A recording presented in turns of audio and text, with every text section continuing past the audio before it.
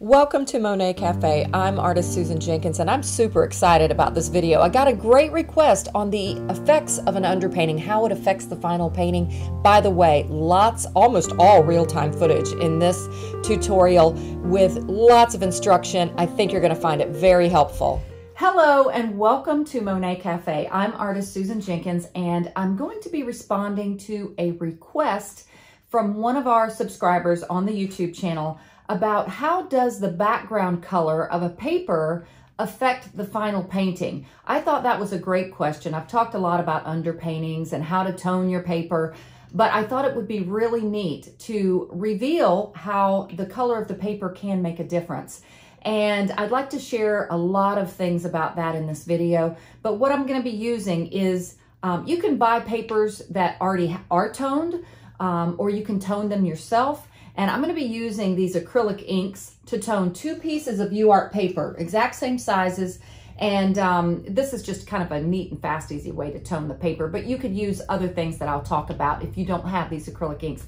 So join me in this lesson where I will describe and demonstrate how the color of the paper or the underpainting can affect the final painting and your own mood. All right, so we're gonna have fun with this. Let's get started.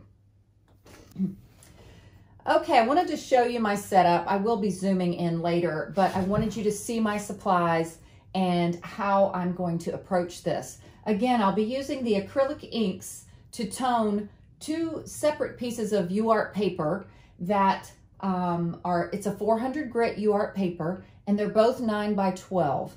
And I have a beautiful reference image that I took the other day you know, right now at the timing of this video, I, you know, it may be watched later than what's going on in our world events, but currently it's when we're dealing with the coronavirus and so many people are uh, limited with the things that they can do. But my husband and I realized that he loves to go mountain biking. Yes, you can mountain bike in Florida. It sounds crazy, but they took this phosphate mine, an old phosphate mine, and made these awesome mountain biking trails. So that was still open. It's one of the only things around here. So we went and uh, of course, I looked at all the beautiful scenery and I took this lovely photo of some flowers that it just looked like this pretty trail and it looked so hopeful. So I decided to paint it and that video is right before this video of that particular painting. And so when I finished that painting, I realized, you know what, this is a good opportunity. I kind of wanted to paint it again. Sometimes if you paint the same thing multiple times, uh, you learn things and you loosen up more.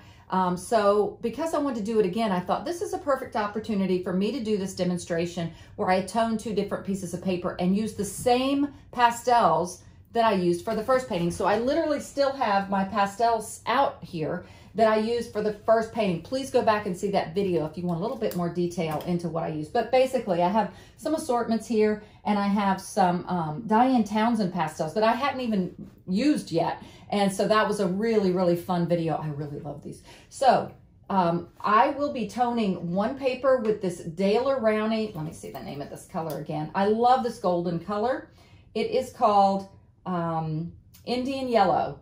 And it's that just that beautiful warm glow underneath the painting. The other one is called Fluorescent Pink. Now, I was actually going to do a gold and like a, a beautiful turquoise that I have, but I realized that would affect my color choices more. I wanted to go with two that were at least warm. Uh, if I had done a turquoise, I would have had to choose a, a little bit different color palette than what I have here. So I'm going to demonstrate two warm, uh, warm on the color wheel, um, underpaintings, and see how the same pastels affect the final painting and, like I said, even affect the mood of the artist. I find sometimes I've painted some things that were just like lime green and all of a sudden it made me feel fresh and spring-like. And so uh, there is no hard, fast rule as to what color an underpainting has to be. But as you grow as an artist, you learn to get creative, play around, experiment, definitely experiment. And uh, try to do it with pieces that aren't so serious, you know, cut you up some smaller pieces. And uh, But anyway, I encourage you to try this. And I'm excited to see. I've never done two at the same time. I do have an idea. I'm, I'm a bit ambidextrous because I'm left-handed and most left-handed people are in a right-handed world. So one day I want to do a video where I paint with both hands. I don't even know if I can do that. Doesn't that sound fun? All right, so let's get started. I'll go over all of the um, information about how I'm approaching this. Here we go.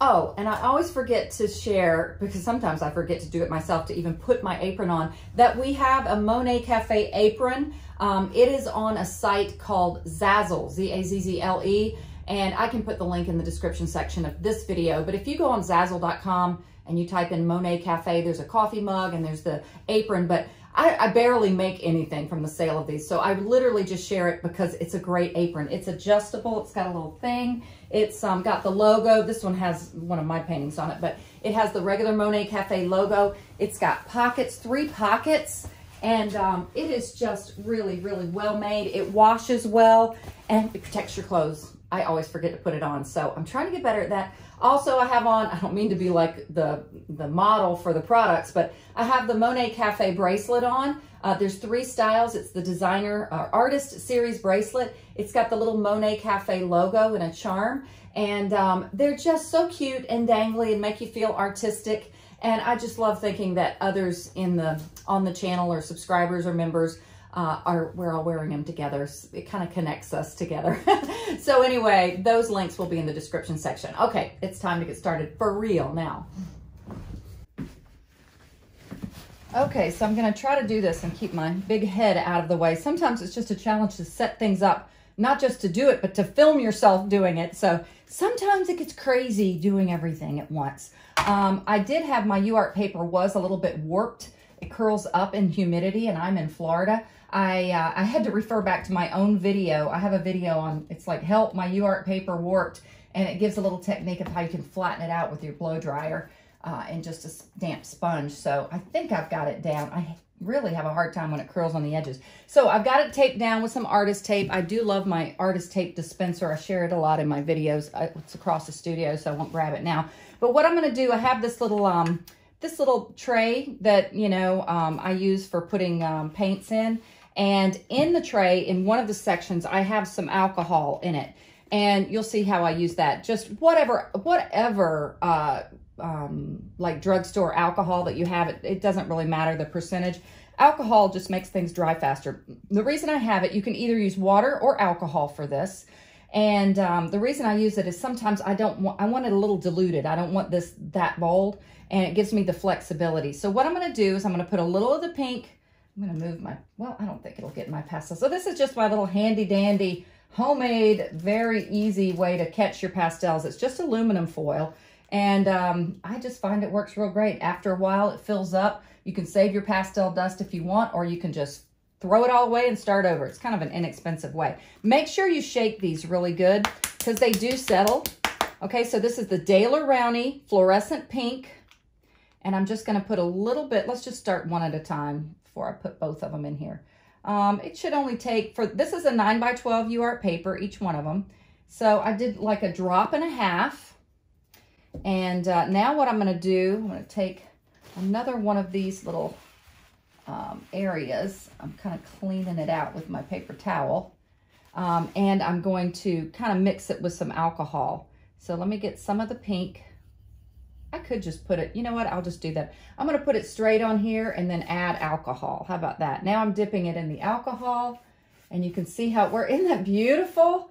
I just love these acrylic inks. They're so fun. I might need a little bit more than the dropper and a half. Yeah, I think I will because I don't want to dilute it too awfully much.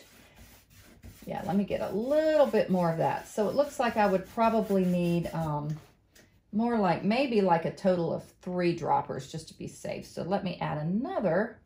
I don't think I had a full dropper the first time. Now I definitely have plenty.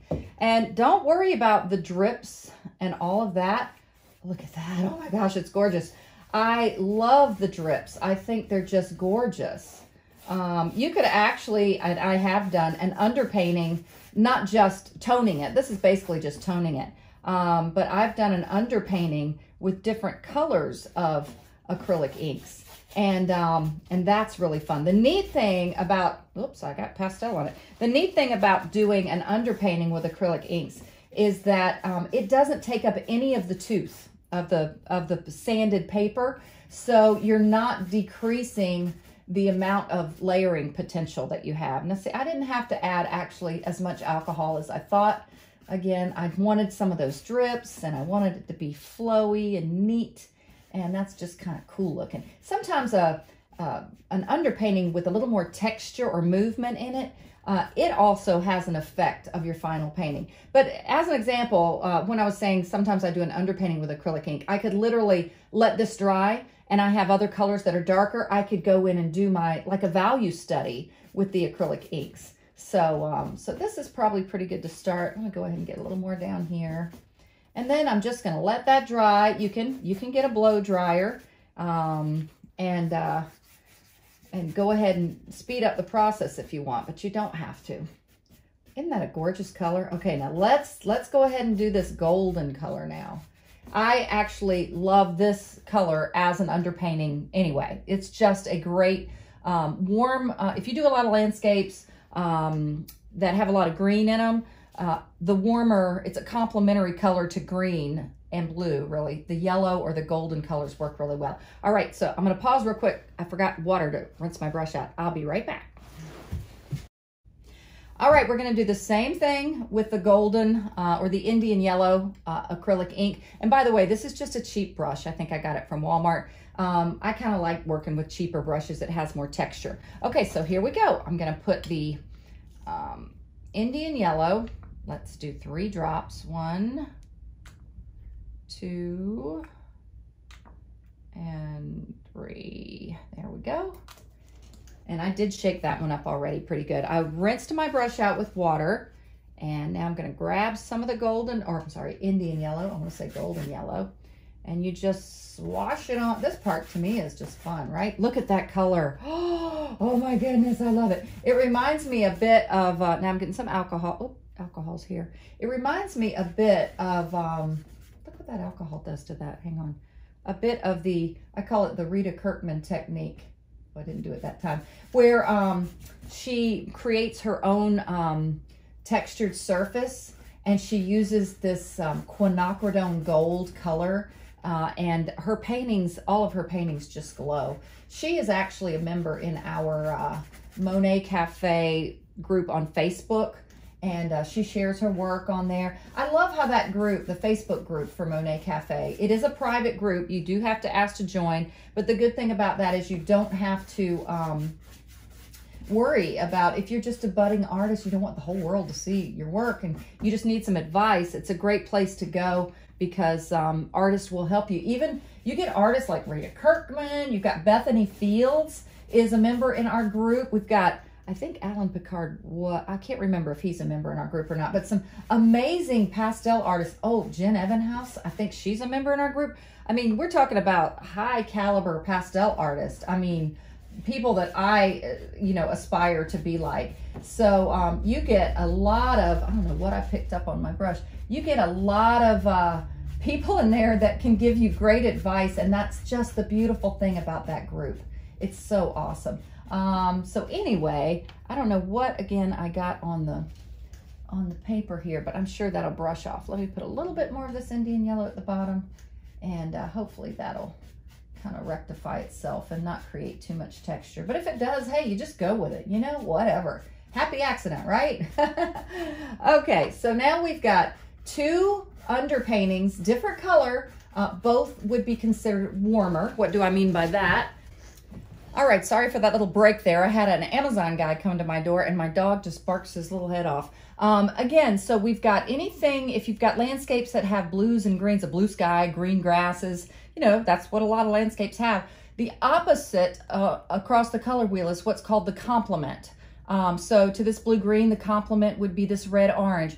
And so I've got two uh, colors here, oh, that's warping a bit again, um, that are complements to the greens and the things that are going to be in my image that I'm choosing to paint and use as a reference image.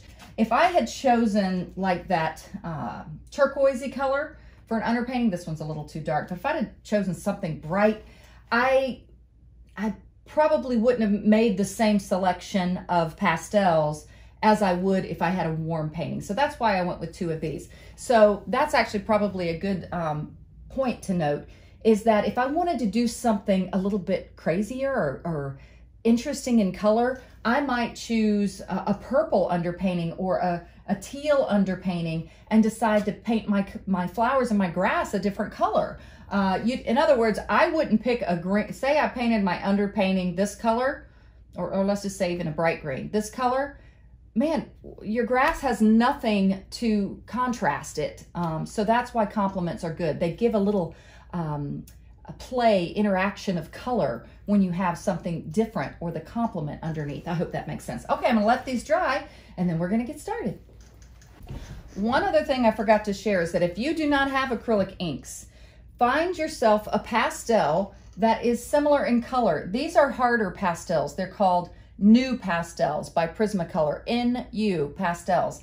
Um, they're good because they don't fill up the tooth as much, but you can do the same thing. You could literally take this pastel, just, you know, glaze it over the whole surface, get your brush with alcohol and wash it in. It'll create a nice wash of gold all over. And the same thing with whatever pink color. This one's a little dark, but you get the idea. So that way you can use what, and if you don't have the harder pastel, you can use a softer pastel. When you brush it in with alcohol, it kind of sets it anyway, and you don't lose, or, lose your layering capability very much. Okay, so now I'm gonna get started. All right, so now I'm ready to get started. Here's my reference image. And I'm gonna try to do kind of the same thing I did with the other painting with the same pastels. So I've got, I took this photo, like I said, when I was out on the mountain biking trail, and it just looks so hopeful and happy. And so if I remember right, I'm sorry if I'm bouncing the camera around, I, I had these trees. I thought, I liked how they, they looked like they were reaching. I had a little bit of a, a gap or an opening in here, and um, they were, um, they just were kind of curving over, which was really kind of neat. It's nice to give your trees like a, a gestural quality. And then there was some sort of a tree back here that had like some different kind of foliage on it. Um, so then I had my little field here, and then it kind of had a sweeping motion, almost like it was a road here. Um, but I use I do that more with value than I do with line, than drawing a line. So that's kind of the general idea there. So let's do the same thing over here. We've got this tree. We've kind of got it uh, reaching up high. We've got our little break um, in the, uh, whoops, it's a little wider. Our little break in here. And then we've got our other tree reaching over. I find sometimes the crazier you kind of make these, um, the more energy and movement and things that they, they have. So it's kind of it's kind of fun to just be a little crazy instead of drawing it perfectly is all I'm saying. All right, so we've got our general um, tree shapes going in. And then if I recall, I probably should go back and watch the video. I actually used some of these NuPastels for an underpainting, okay? They were some oranges, I mean some pinks and some uh, kind of different values of pinks. And I think I used like this darker color over on the left side. Oh, actually, I, I wanted to draw my flowers in. I drew some flowers in. I remember I had one kind of up here, kind of high. And then I had some more in here. Got a little smaller. I had one that looked like it was kind of opening. I kind of liked that. And then I had a few more down here that were a little bigger. And it doesn't matter if all these flowers are perfect. They kind of felt like they were reaching and going back in the distance like that.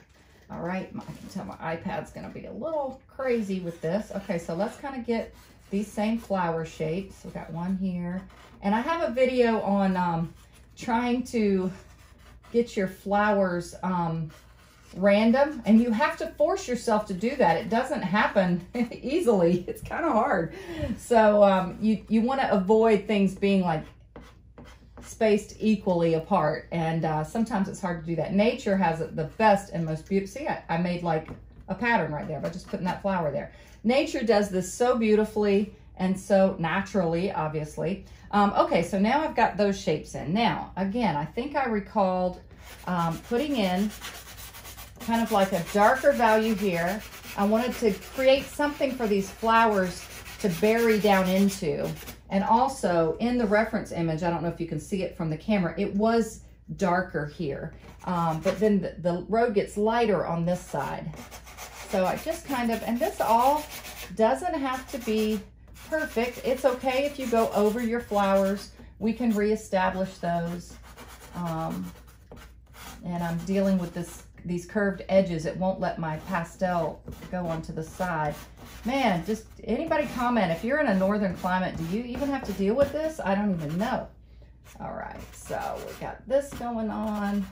And there was even darker up in here behind these flowers.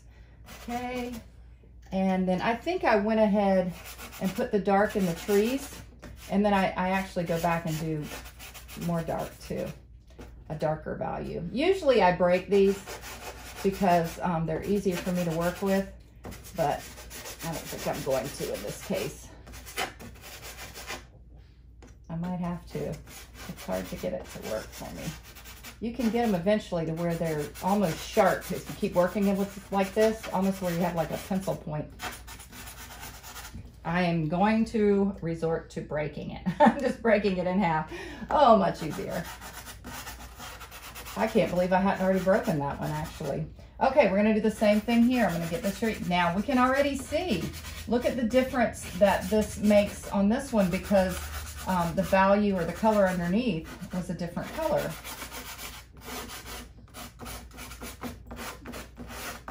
Okay, big trees in here. And again, these are just blobs right now because this is just getting in the color and the value to begin with. We're not worried about um, any detail. No detail. I should put a little sign on my easel to remind everybody, including myself. No detail. We don't even need to think about detail early on. Big shapes. Okay. All right, I feel like we got a little energy. Now, why didn't I put any little flowers over here? Because they're gonna be added on top later. All right, so we've got really just the underpainting, I mean, just the sketch underneath and just um, the one pastel that we've added. Now, I think I recall that I did a lighter pastel, um, or kind of an, a medium, kind of a medium value pastel, a little bit in here. And again, I am still working with a, a warm underpainting. I'm going to add grasses on top of this. They will be added. Um,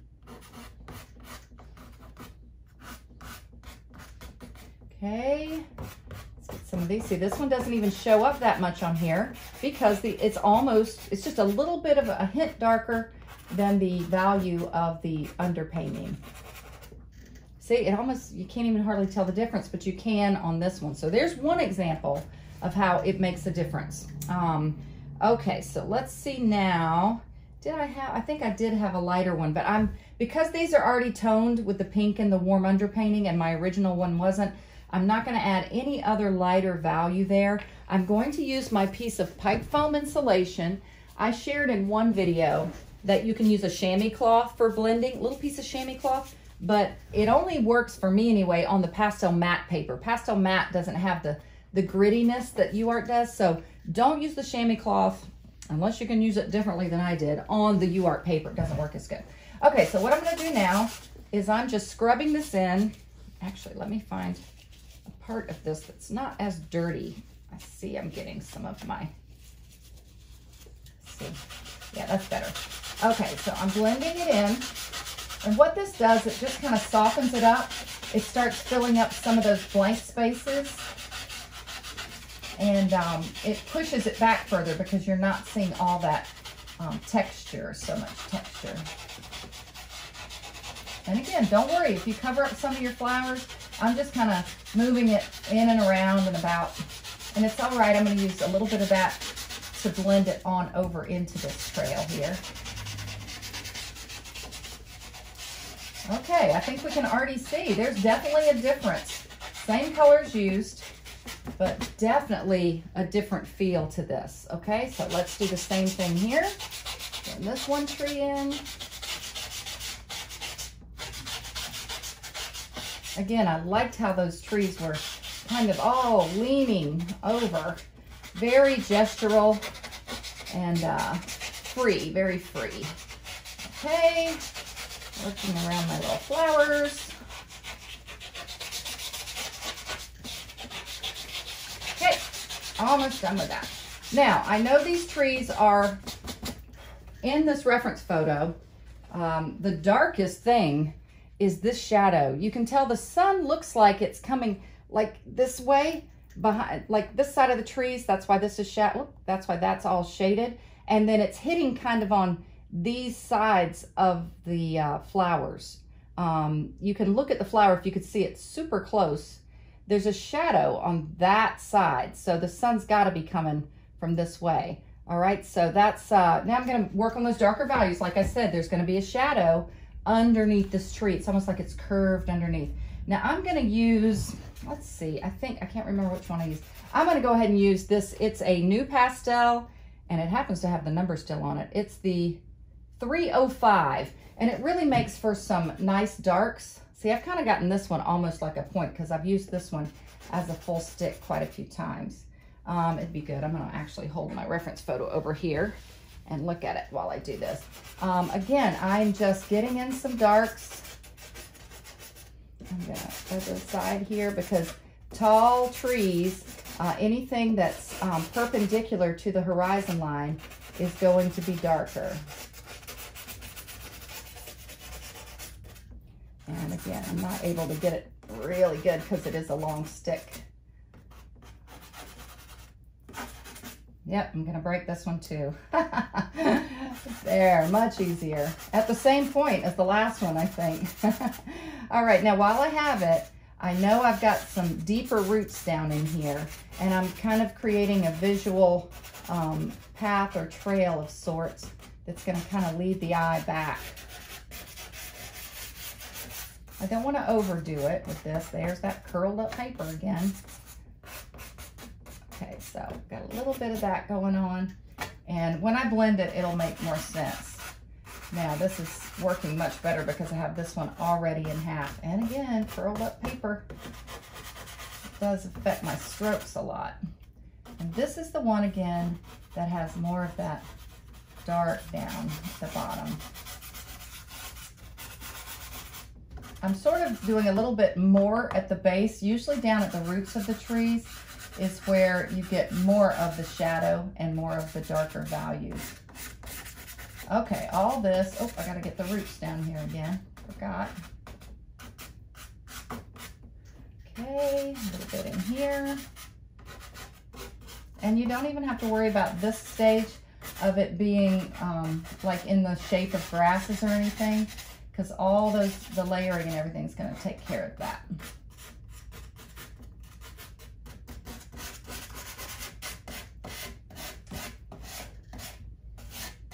See, I'm not even being careful there. All right, so now we're gonna get our pipe foam insulation again. I'm gonna wipe my hands off. Pipe foam insulation. And there's a part where I already used it for dark, so I'm gonna do that. Yeah, see? See how that works? It just blends it so nicely. I like that. All right, this is that dark part right down there. I get a lot of people asking questions about the toxicity of pastels. I have never had a problem, but I think, you know, there are people who have more sensitivity with their respiratory systems and things like that. So I do think there are people who have issues, but um, I have never had that issue. And you, if you do, you want to make sure you have a ventilated room and um, that you uh, you can have a, a fan maybe. Uh, actually, I'm not sure if a fan would be good. You could have one of those um, air conditioner kind of things that circulates the air, maybe sucks dust into it. I don't know. I haven't done much of that because I, I haven't had many issues. Give suggestions in the comments though if you have recommendations for other artists who may have issues. Okay, so now why did we put all that dark down? Because we've got to have some value or nothing light is going to show up. The paper was already kind of luminous and um, you want to make sure you have some darker values for things to play off of.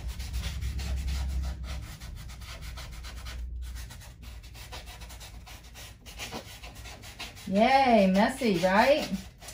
Um, I love how, I don't know what artist came up with it, but the term, but it's so true. My arm's actually getting tired. it's so true that paintings go through what they call the puberty stage. You know, when you're a teenager and there's this awkward stage. Man, I had that my whole, oh my gosh, junior high and high school year, I felt like. But, um, but anyway, it's just that kind of awkward, you know, kind of growing into yourself and things aren't all quite right. And that's kind of what happens with your paintings too. All right, we've got our underpaintings. We've got our same pastels applied, same general idea. And now we've got a, a base to put our other painting to. All right, so speaking about the dust and everything, I'm gonna get up and wash my hands real quick and then we'll get started on both of these. Okay, I tried to move my light a little closer so you could see better. But unfortunately, the way the lighting is in here, you guys can't see how luminous this is. Oh my gosh, it is like brilliant and gorgeous. I love that. So, you know, hopefully you get you have a, enough to see. Now, I do recall that when I did the other painting, I really, oh, oh actually, I do need to get a little bit more. This is, I don't think it's the egg, it might be the Terry Ludwig eggplant. Unfortunately, it broke. I bought a set of Terry Ludwig darks and um, and one of them broke, but that's okay because I like to work in these little sections anyway. Now, all I'm doing here is working on the those darkest areas in the trees in the distance that are, um, you know, uh, the backside of where the sun is that have more of the shadows on it. Again, I'm working with this curvy UArt paper, but I see a few places where there's just a little more shadow to the trees, so I'm kind of accentuating those. It's kind of like, you know, trees have parts that go in, and, and that's where those shadows would be. This tree back here, because it's getting a little further away, I'm going to kind of lighten it up in value and cool it off. There are some kind of darker shadows. Something's going on back here, like a bunch of weeds or something. I might actually even blend that a little bit more too. Okay, let's do the same thing over here.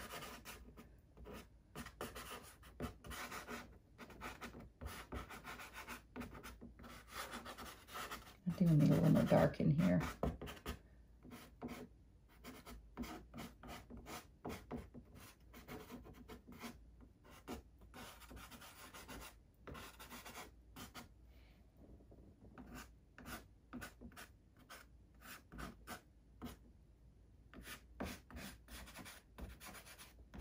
curly paper.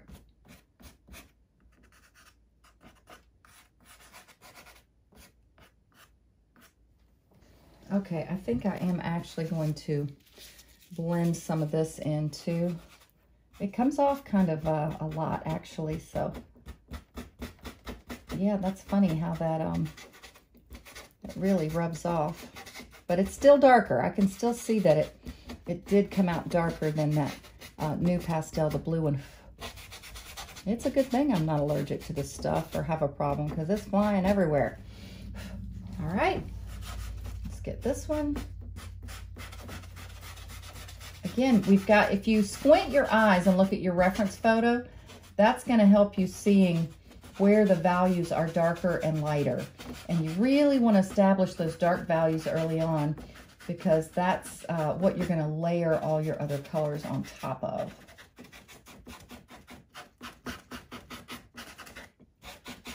All right. And these areas back here, I haven't done it yet, but now we're going to do the sky because that's where these are the little pieces of uh, openings or whatever where the sky is peeking through. Now the colors that I used for the sky was a combination of some purples and blues. I think I even later used a little teal somewhere in there. It's much later. It's because I add that bright color. But um, maybe that one, I can't remember. But it's it, in this color range for the sky. Now, typically, seems like it was a lighter purple than that. Yeah, yeah, yeah, this purple. Not that one. That one's too dark. Typically, skies are darker in the heavens and they get lighter at the horizon line. It's not always the case, but it's almost always the case. So what I like to do often is go ahead and get my, this is a, a deeper blue. It's not my lightest blue, but I'm just kind of um, getting some ideas. And oh, I don't think I had as much blue there, but I'm going to go ahead and do it anyway in this one. My other painting, I, I didn't show much sky in that part. Um, oh, can you see how that blue is behaving differently um, here than it did on the other one. Now I know I got this, this was the thing that really attracted me about this photo was that little opening right there. So cool. All right, let's get this one over here. Again, I'm putting down the same blue everywhere, and then I'll, I'll layer over it to create the, the different values. Now, I hope I'm not getting my head in the way here. This is not the normal place that I work, but I just felt like sitting down today. I've had a lot going on. I think I need to reestablish a little bit more of that dark in here. Okay, all right. So we got a, I can see such a difference with the, the, see why I love this color so much? You see how it vibrates with that blue? All right, so that was the blue I used there. So now what I'm gonna do, I'm gonna get this little bit of a lighter blue and um, I'm just kind of, I think I'll turn it sideways a little bit. I'm just kind of blending a little bit here in with that blue just to create a little bit lighter value. That's gonna draw the eye back here because of that contrast. I don't think I want as much of it over here, but I'm gonna do a little bit of that.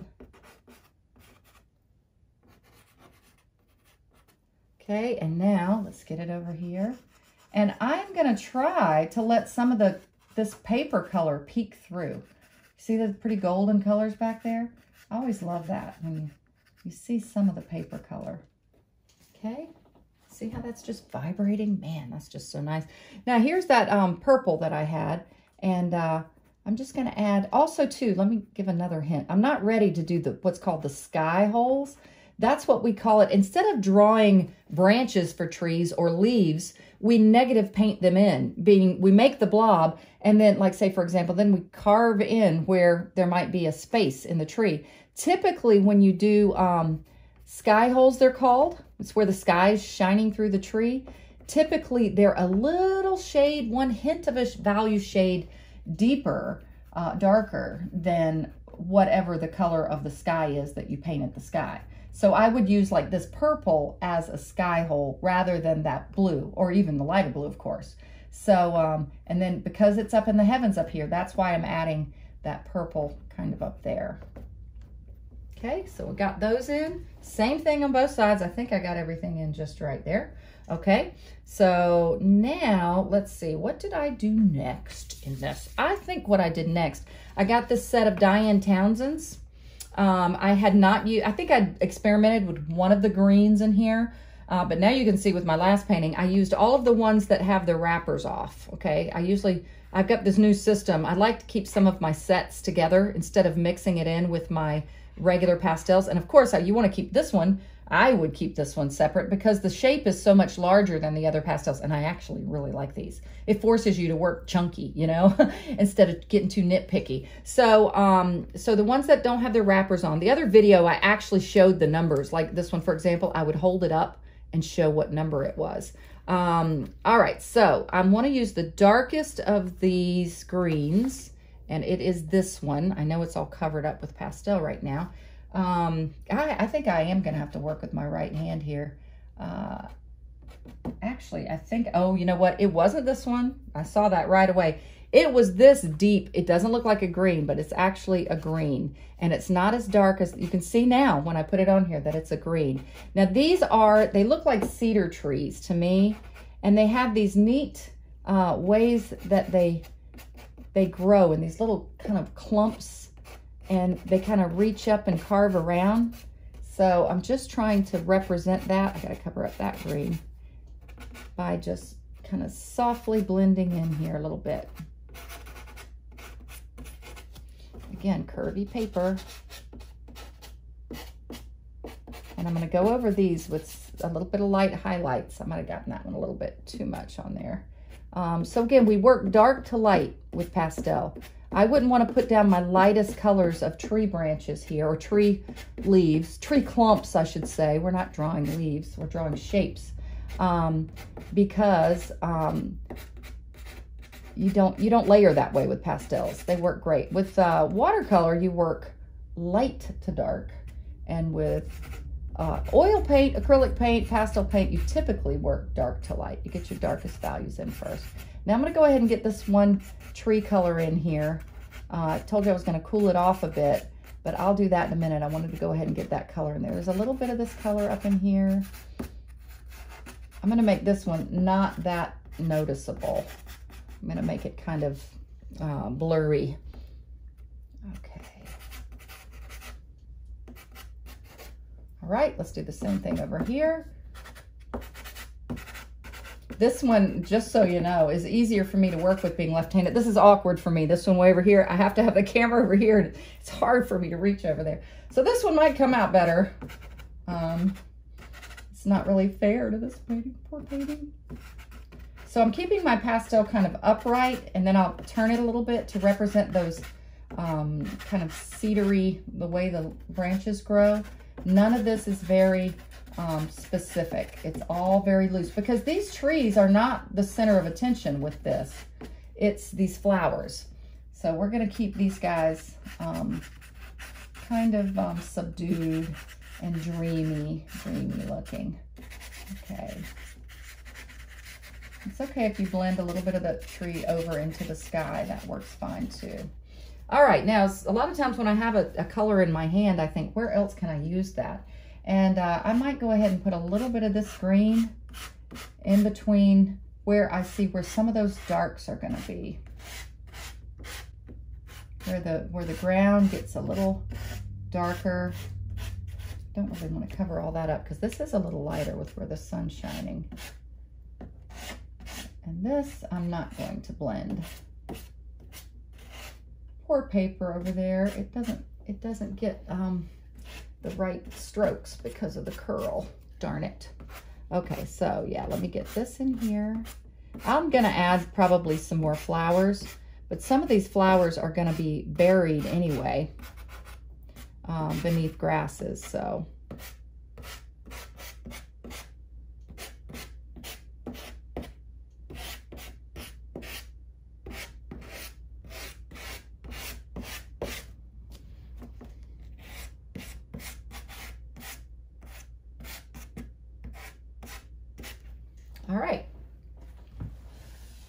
think I have the same thing for all of them. All right, now let me recall what I did with the ground. I think I went ahead and started adding some of the greens. Um, yes, I think I did. I think this is the point where I started using kind of this darker green. Um, now this is what I was saying. This is a cooler green, okay, as opposed to that green. Why is it cooler? It's closer to the cooler side of the color wheel, closer to the blues. This one's closer to the yellows. You see more, more yellow in it. All right, so I'm going to get, let me make sure this one is the, yeah, see this one's bolder in color. It's a gorgeous color. Wow. I love these Diane Townsends. They're really fun. All right, so we've got kind of some, a little bit of shadowy to this road, but I want to kind of keep some of that, the pink showing through there.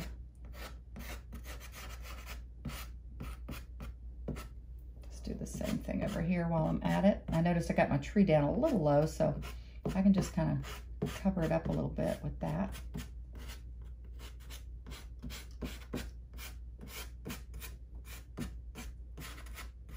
I'm not making anything that looks like grasses yet. I'm just making, um, um, I call it scumbling. I mean, that's an actual term, but I don't know if that's really exactly what I'm doing here, but Okay, I'm cooling this off now. I said I was going to cool this tree off a little bit. It's a little further away. Some of that light that's shining on it gives it, it'll push it back. It'll make it feel like it's further away when you do that. And let's see, this one, this one doesn't have a whole lot of that going on, but maybe just a little bit. The sun, because the sun's coming from here. It's like this one's closer to you. Okay. Oh, I didn't get these over here like that, did I? All right, got a little bit of this in here.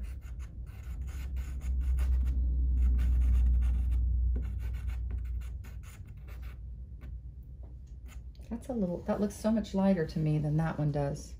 That's interesting. I think I'm gonna add a little bit more of that green to this one.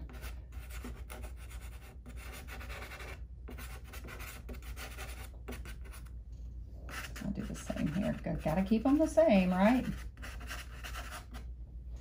Okay. All right, so let's see. I can actually look at my painting to see. Yeah, okay. So now I, actually I do need to add a little bit more of uh, some of this dark over in here. I kind of um, have more over here that's dark than that one. So let me, let me kind of fix that up a little bit.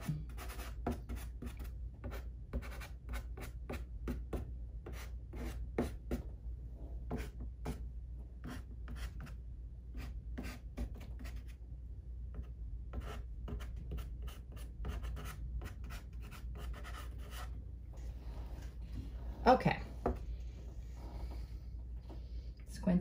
Squinting,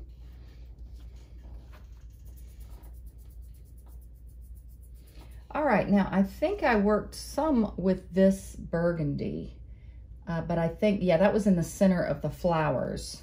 So let's see, let's see here. All right, I think I did some purple somewhere in here because this is kind of shadowy in some areas, but it's not as shadowy as these um, flowers here because this is in the shade more. This has a little bit of shadowy depth to some of the um, grasses way in the distance. Oh yeah, this had a little patch back here that the sun was kind of hitting. And I'm putting the purple, I'm gonna add some green, but this cool purple is gonna push it back a little more. All right, at this point, I think is when I was using some of these different Diane Townsends to get the greens in the field. I'm trying to recall if I put anything else. I think I, I think I did. I think I put a little bit more of some of these um, paler pink hues um, underneath here just to give it a little um, contrast instead of just the gold there.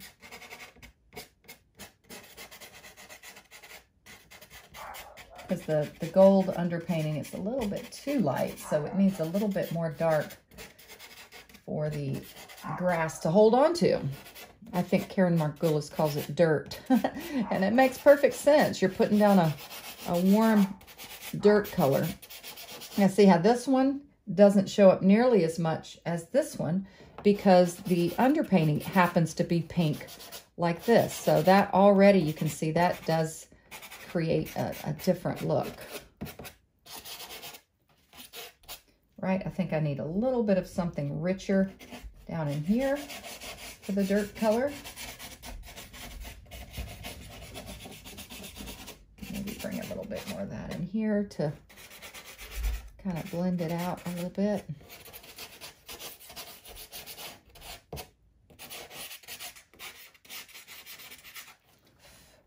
Right, I think we've got a decent base for our uh, grasses to be on. I'm, I'm tempted to um, blend some of this in. It's a little chunky, that, that dark that I put in. I think I'm just gonna knock it down just a bit so there's not quite so much uh, texture on that.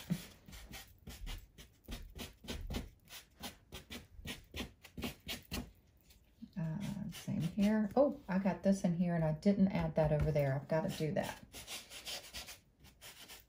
Getting called away to too many different things I have to do. Okay, so right here is where I added some of this darker green, I believe. Let's check that color. Yep.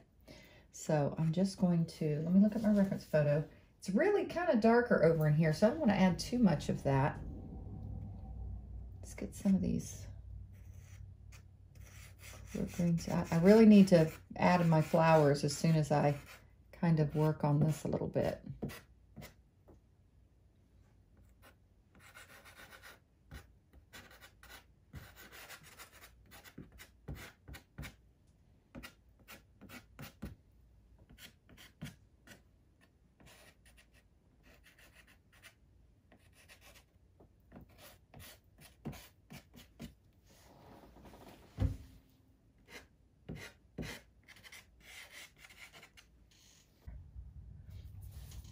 All right, now I'm get some of these flowers in. And for the flowers, I use these Diane Townsend's, I think it's called the uh, Mood for Matisse. I looked at these and I really liked them. I thought they would make a nice cityscape. I don't know, they just have look like like city colors to me. So I got to try to do that eventually.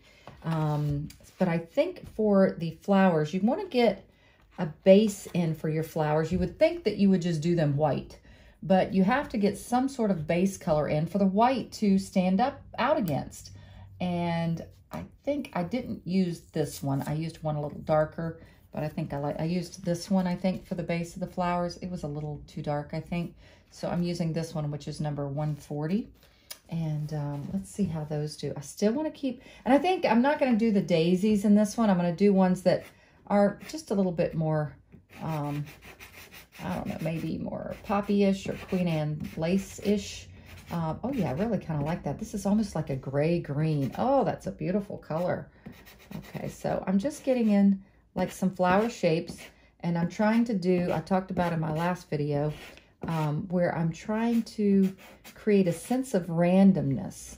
And I call in one of my videos, I call it a forced randomness because um, we have a tendency in our brains to make things in a pattern and to divide things um, more like soldiers in a line. And um, that's not really how nature behaves. So we've got to forcefully create that. So I know this probably doesn't make a lot of sense right now to um, have this darker color down, but um, it will make sense later, I hope.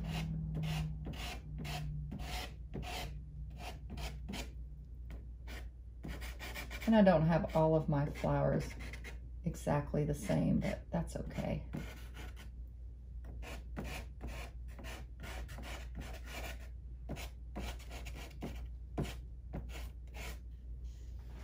Okay. And I'm, I, I kind of like some of that um, color showing through there. And I may, I may actually get this darker one now. I'm going to bury some of these other flowers down here. And I kind of like having this um, little darker color down here for some of these ones that are more in the deeper grasses. Some are higher, some are lower.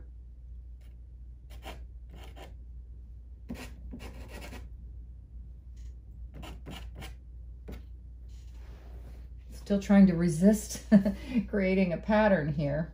I may add a little bit of this down. I'm going to make these flowers, uh, maybe, like I said, a little more poppy-ish, where they kind of have a, a, base at the bottom and more um, wider petals than daisies have.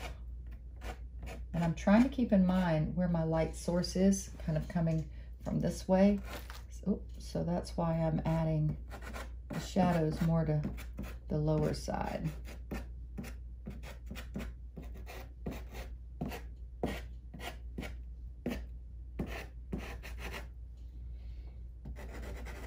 Eventually we'll brighten those flowers up.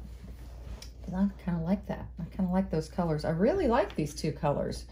They both um, uh, have a warmth to them. You know, it's always, everybody tries to find a nice gray because grays are so in now, like to paint your walls. And um, it's hard to find that nice warm gray. And I really like that color. Okay. Now, let's see. We did our, I, I probably should stick with the flower colors the same, but I, I kind of want to do the flowers a little bit more, um, well, the background's gold here. Um, so I'm wondering if the golden flowers will show up. I could make them golden with um, white highlights See, that's how the, the background of the paper affects your choices. Um, so I'm thinking I don't really want to do them all just white like the other ones. Uh, but I don't want to veer too far away from that. So I'm going to go, you know what I'll do? I'll do like a some reds and some goldens and a little bit of lighter yellowy highlights. Let's try that. Okay, I haven't gotten to use this good red anyway. Um, so I'm going to use the reds. They're going to be kind of like a reddish, orangish color of like a poppy or something. How about that? This is color 49. Man, I'm really loving these Diane Townsends. They're very cool. Um, so I think I'll get a little bit more of the flowers in and then I'll start focusing on these grasses a little bit. All right, so before I get that red in, I'm going to get a little bit of these, you work dark to light, so I'm gonna get a little bit of these rich um, colors. I'm already losing a little bit of layering, so I might wanna be careful with this. Yeah, I think the Diane Townsends go on um, better than the uh, Terry Ludwigs in this case. I'm about to find out. Yeah, because that's not going on really good at all. I think I might just abandon that effort. Eh, scratch that. All right, let's check these out.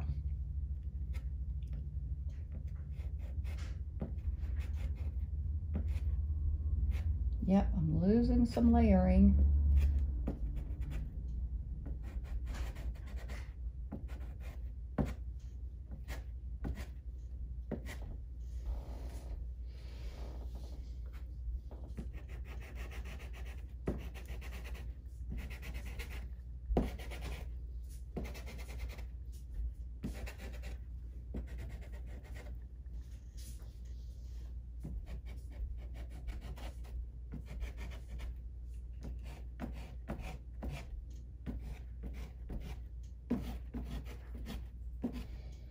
I'm going to reestablish and get some more layering when I do um, a um,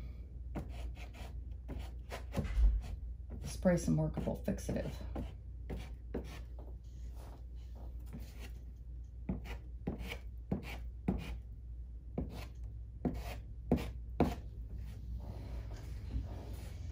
Because that's, I'm having to press really hard to get any good color down. But I think I am going to still go ahead and try to get kind of like this color here. And this is one I didn't try. It was real close though. These are pretty close in value or in color. This is an 80.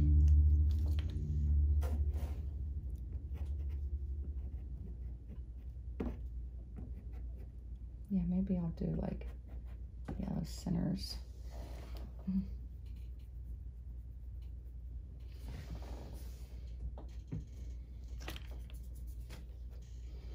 Actually, I need to get some dark centers on some of these.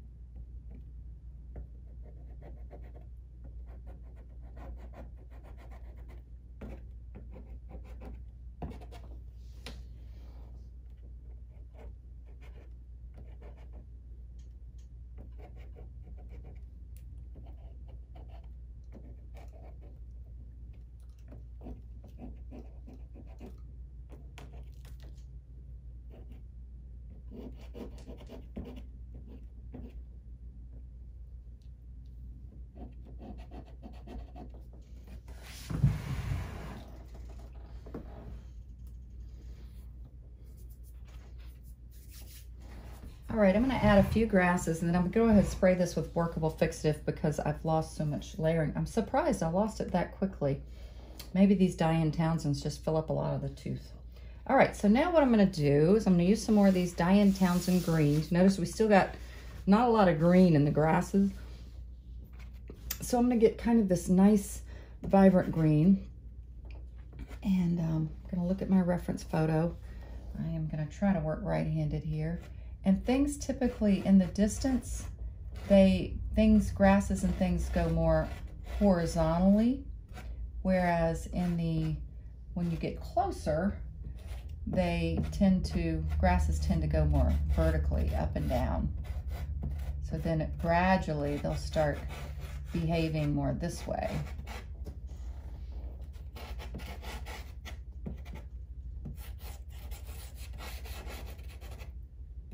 And I am going to add some more flowers over in here. I think I need a little bit more of some richer colors down in here. So let me get a little more grasses that have a little cooler green, like they're kind of hidden deep. I still want to let that pink shine through a little bit. Let me go ahead and add some of that over in here.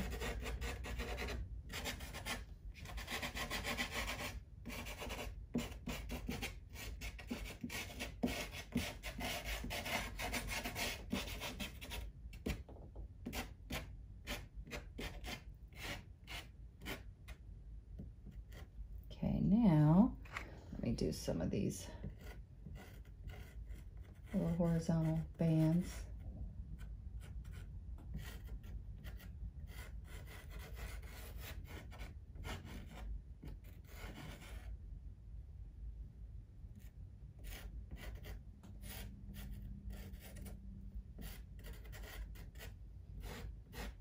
will gradually start getting more grassy.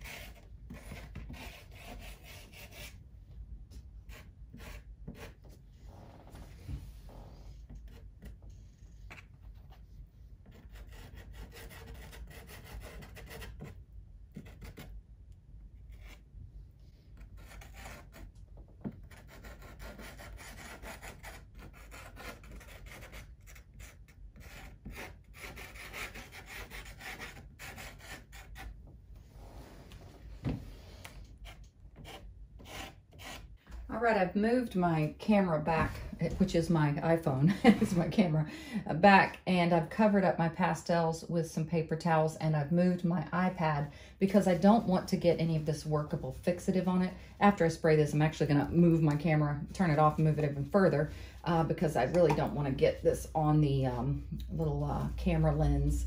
Um, but the workable fixative I'm using is um, one that works great. Uh, I've had a challenge with finding fixatives that I like, and I, I saw that Karen Margulis had used this years ago, and I really like it. Blair Very Low Odor Spray Fixative.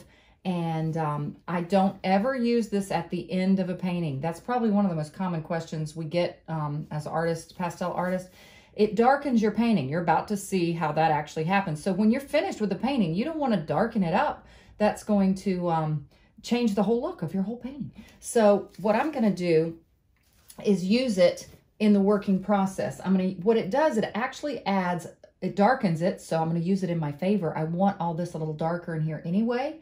And it also adds a little bit of texture. So you kind of re um, sand your surface in a way. Not a lot, but a little bit. So, um, so you can kind of see how this works. And I also don't want to breathe this, so I'll be getting out of this room soon too. I got a little bit of a shoulder issue here too, so I'm having a hard time using my right arm. Oh, old age is no fun. All right, so I'm going to purposely try to get some of these flowers too so that I get a little more grit because um, I was, I think I was more heavy-handed with the Diane Townsends than I, I thought I was being. uh, and I purposely do the little splatters. I kind of like that look. It's going to give it a um, more of an impressionistic look.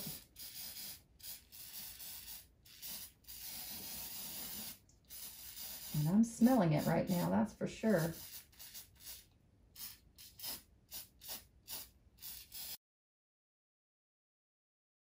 The fog has settled and um, I've actually added some other reds that I have here. This is a Terry Ludwig. I believe this one is out of the uh, one of the intense darks. There's two sets. There's intense darks one and two. And uh, I think this is one of the reds out of that set. Then I've got a little bit of a paler, uh, kind of a cool red, and then an orangey red, or orangey orange. And then, of course, I still have the, the red from the Diane Townsend. So I'm kind of see how it behaves because it, it seemed to take up the uh, tooth so quickly. So a little bit of experimenting. All right, so let's go again. I'm going to reestablish some of these centers and see if that, uh, yeah, see the, um, the fixative did allow me to get a little bit more tooth to that. So that helped for sure. I don't want to add centers to all of them. I almost did, but I'm going to be adding some more flowers too um, because I'm going to kind of cover up some of these centers.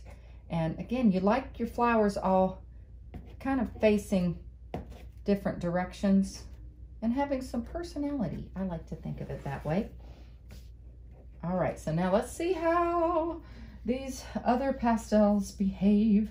Again, we're working dark to light uh, let me see how this dark works here. Get a little bit of dark. The light is coming from here again. That's a little dead. I don't like that color. It's just a dead color. So I'm going to go ahead and get me some of these petals kind of reaching up and around. like poppies would. And I'll add some highlights to make them appear uh, more three-dimensional. And to uh, give you a sense of where the light is coming from. And I think I need, um, this one probably just needs to be bigger. It's just reaching up and saying, look at me.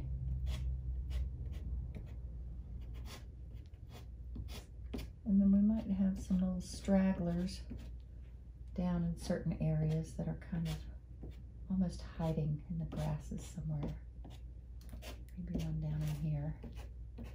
Now, because I changed my palette of flowers, I'm gonna have to adjust for that in these distant flowers. There, I can still have some white ones, you know, going in the distance. I think I do wanna add a, a center here to this one right there. Um, so there'll be more of an orangey kind of a blanket going around.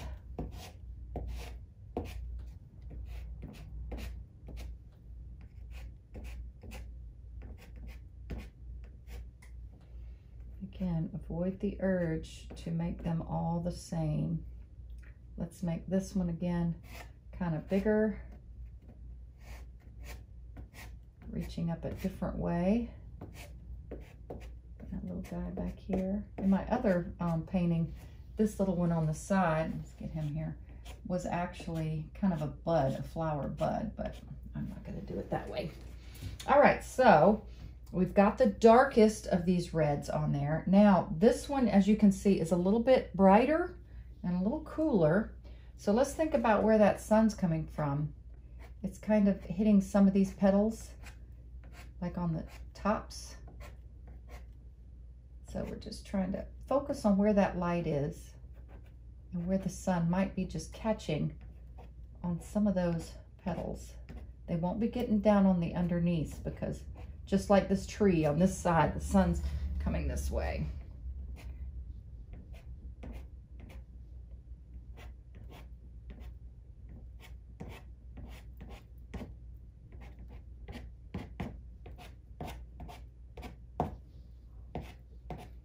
And I've only done the flowers that are um, prominent right now. I'm going to be adding more that are going to be these, what would you call it? They're not the leading lady, they're the supporting actor or actress. How's that?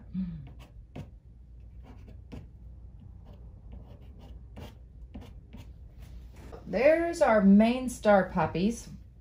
And now I am going to add a few more hints of these.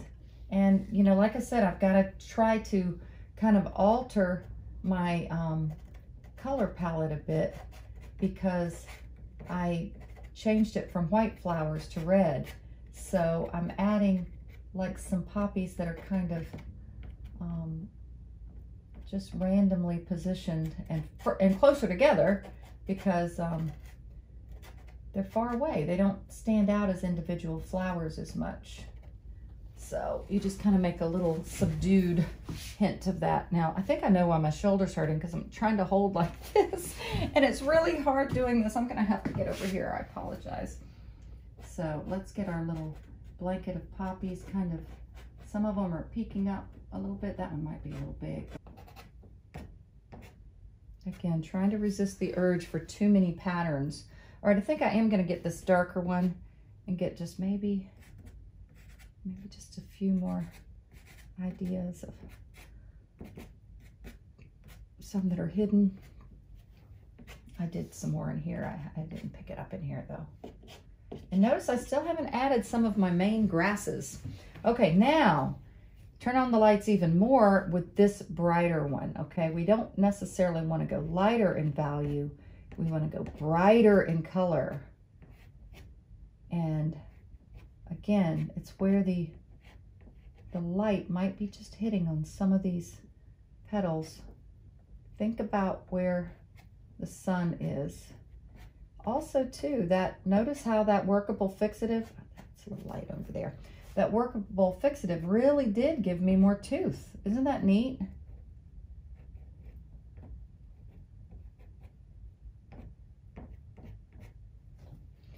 Um, also to remember, sometimes you just want to suggest. You don't necessarily have to spell it out for people, you know?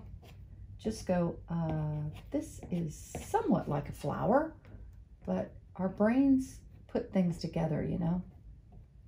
Okay, so, oh, I didn't do this one.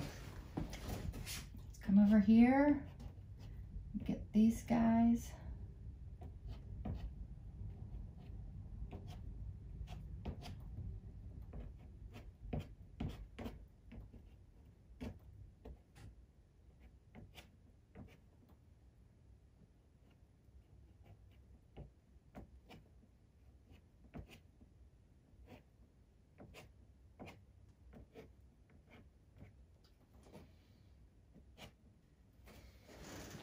All right.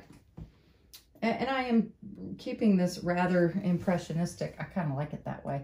Um, now, let's get a few of these in here. These, um, maybe a little bit of a blanket of some of these more golden colored ones reaching off into the distance there. I don't want to get too many over here because this is a little bit deeper grass.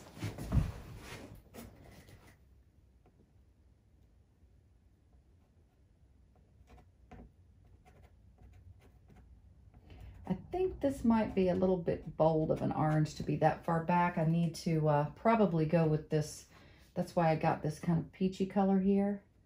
Um, because things cool off in the distance. They don't get, they don't stay as warm, like yellowy. So um, I kind of like it in this one, but I'm going to cool off a little bit down in here. I don't want to overdo that either. Okay, that's probably pretty good. All right, so now we've got to start adding in some of these uh, grasses. You know, I might add a few stems right now while I'm at it because they're kind of floating in the air. And um, um, that's a little dark, but you got, with me, with stems, um, it depends on what's behind it. Um, sometimes they, um, uh, they show up and sometimes a sometimes a dark shows up and sometimes a light shows up. So you've got to uh, pay attention to what kind of is behind the flower that you're doing. I think with this one I kind of want to make a lot of them kind of reaching out. I think I like that better. I do actually. I wish I hadn't done these this way. I wish I had done I, I can change it though. Look at this. How nice is that? I'll just cover those up with grass Again, these are ones that are a little bit more prominent, um, but some of them aren't going to really show any stems at all. All right. Okay, we've got some basics established. And now I believe I can start adding some of these grasses, more of the more of the green grassy colors. This is one that I used in the other painting. And um, I think I'm going to just kind of skip this along. Oh, you know what? It would be nice if I had my reference photo, right? Let me grab that. Okay, so now I will be adding more greens for the grasses. I want to be careful with this um, because I don't want to cover up too much of this dark. So I need to, this is the one that I had used before. And I do like that. So I think I'm going to bury some of these flowers.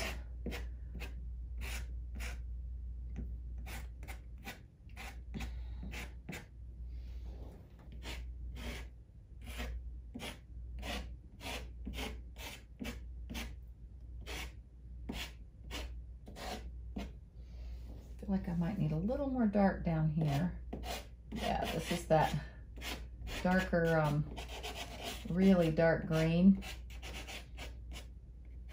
Kind of get some of the roots down in here, but I want to be careful not to overdo it and cover up all this gorgeous underpainting.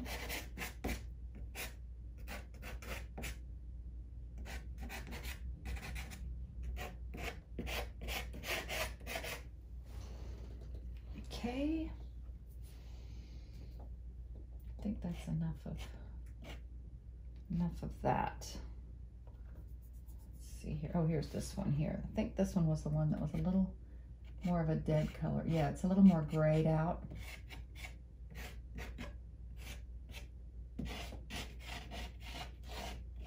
I kind of like keeping this cooler over here because it's definitely more in the shadows.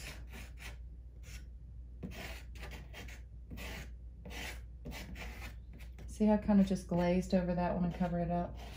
That one I'll cover part of it up, or a little bit more maybe. There we go.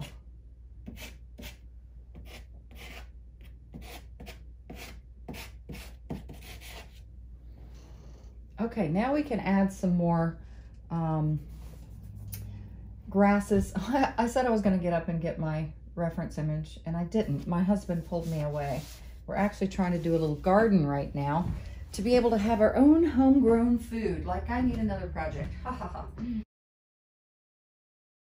Let's take a look. And, and again, I, I kind of veer away from the reference photo a lot, but at the same time, I, I want to remember where certain things were regarding value and color. And um, there are some nice greens. I squint my eyes. It's definitely darker in here, like I have it.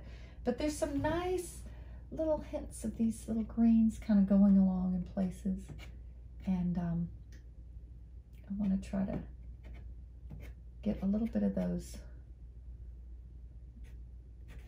I don't want to create too much detail, but there are certain places where there is a little bit more um, individuality to some of the grasses and things.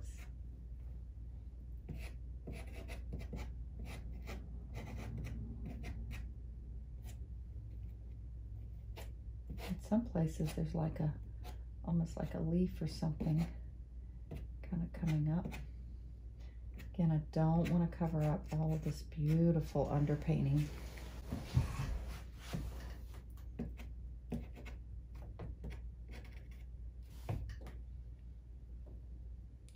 There's a little bit of this in here actually. It seems like that should even be darker in value. Do I have, I don't think I have many this is the darkest green of this other than the these colors here.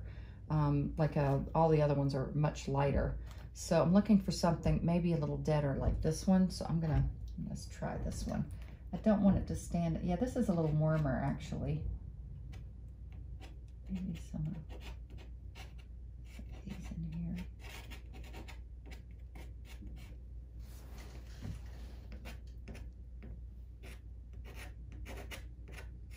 I sort of like this working on two paintings at once. It's kind of neat.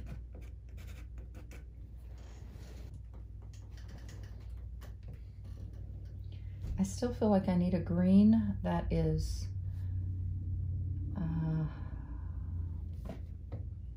I don't know, deeper or something. I'm gonna go grab another green. Maybe like this. Because there are, some, yeah, there we go.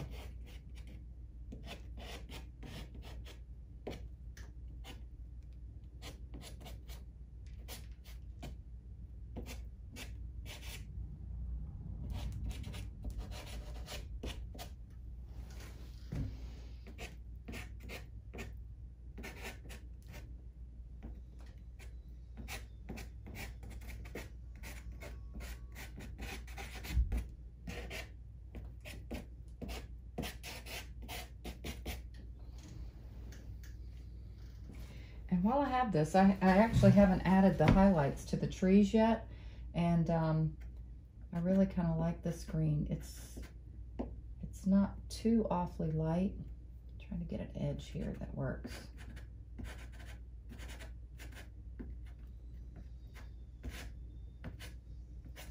Again, I'm working with that curled up paper.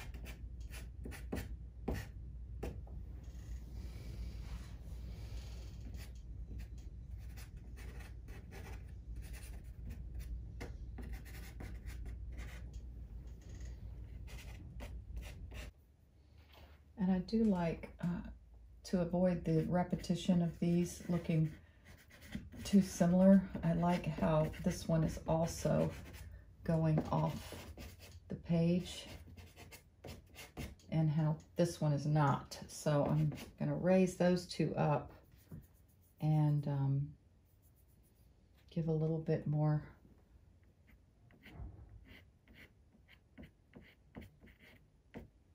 yeah, I, I just want those to look different. I really like this purple. It, it just adds a little more color variety. I gotta be careful how much I add it. Um, then all the green. It just adds a little oomph in some places. Now I'm going to add just a few more hints of um, some grasses. Again, I want to keep this very impressionistic and create some sky holes uh, in these trees uh, because they're still a little blobby right now. So I'll carve in some sky holes and for the rest of that, oh, because my shoulder and back is hurting, I think I'm going to do them one at a time and move my camera.